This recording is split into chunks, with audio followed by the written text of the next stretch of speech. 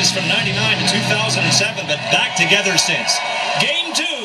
When we're done here tonight, it's either the Canucks in the driver's seat or we start over again tied at one. Jim and Craig.